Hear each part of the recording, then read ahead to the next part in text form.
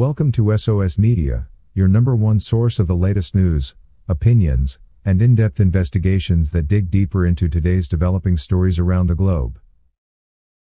The media today is all filled up with various comments and opinions resulting from R. Kelly's recent telephone call to the WACK 100 media platform, in which he passionately elaborated the impacts that his stolen jail information had on the New York trial and consequent sentencing.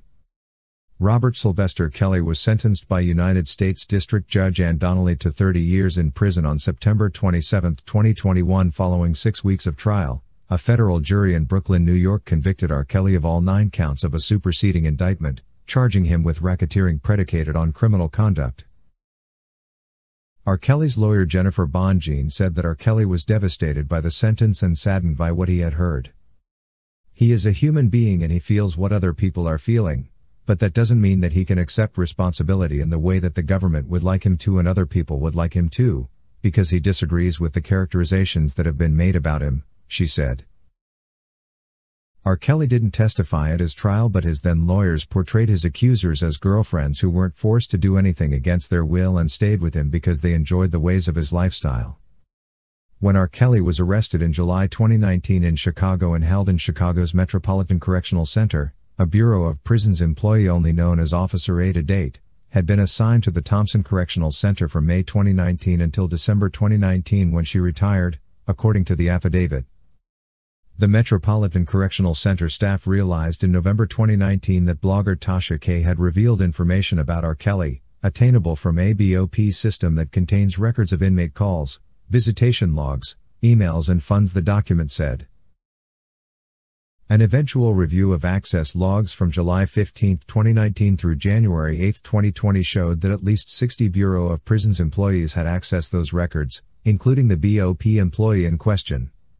That person had accessed R. Kelly's records 153 times between July 15, 2019 and December 12, 2019 even though the officer was not assigned to the MCC and had no official reason to access them.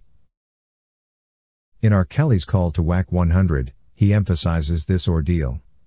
Officer A then sent all of my jail records to a blogger named Tasha K who stated out of her own mouth that she shared my jail records with federal witnesses in my New York and Illinois case. She said it out of her own mouth and it's out there on the podcast and everything, R. Kelly said. Now Officer A violated policy and procedure but once Tasha K distributed those jail records to the government prosecutors and among the federal witnesses, it became a federal crime issue and Officer A became an accessory before the fact, he added.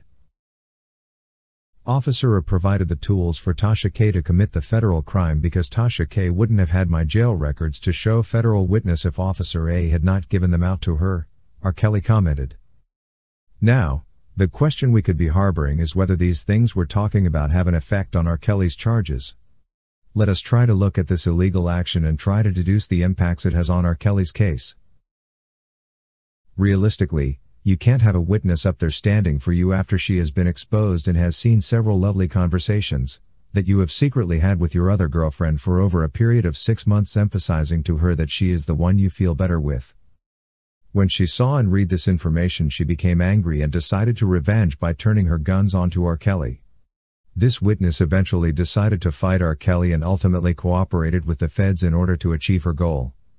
This alone qualifies the witness to be referred to as a tainted witness, especially after this key witness contributed over 90% on the weight of the sentence. Taint is a term used in the legal field with reference to evidence that has been tainted or ruined in some manner. The most common of such usage is with reference to evidence, testimony and identification by witnesses or confessions that have been obtained by law enforcement illegally. The illegality usually results from a violation of one's constitutional rights such as a violation of the Fourth Amendment of the Constitution protecting against unreasonable search and seizure, just like R. Kelly's predicament.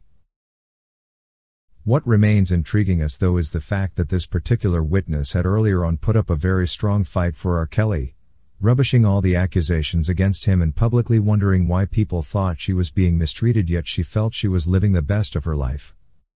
Suddenly, just after six months down the road this very person makes an unexpected sudden U-turn allegedly claiming she had told lies before. It will be worse a situation when we confirm that the prosecution and the jury had already seen this leaked information pre-trial.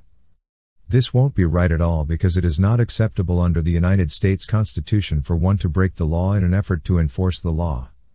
I can really see that R. Kelly will technically kick this case out of the window during the appeal proceedings.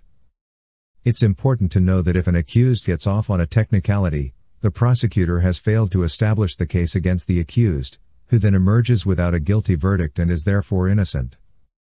Technicality refers to the requirement of the law and those requirements exist to protect the rights of citizens.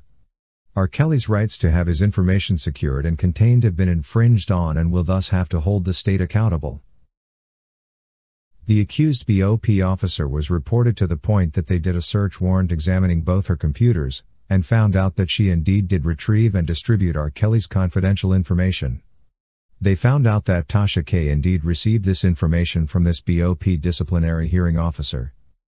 This was not just some security guard but a disciplinary hearing officer who is rationally an equivalent of a judge in a bureau of prisons. She knew exactly what she was doing when she gave Tasha K this information. Tasha K also knew what she was doing because she actually said it out of her mouth, that she shared the leaked R. Kelly documents with the government witnesses and prosecutors in both his New York and Chicago cases. To make matters worse, they did this prior to his trial proceedings meaning that, their wish was not to let R. Kelly win at all cost.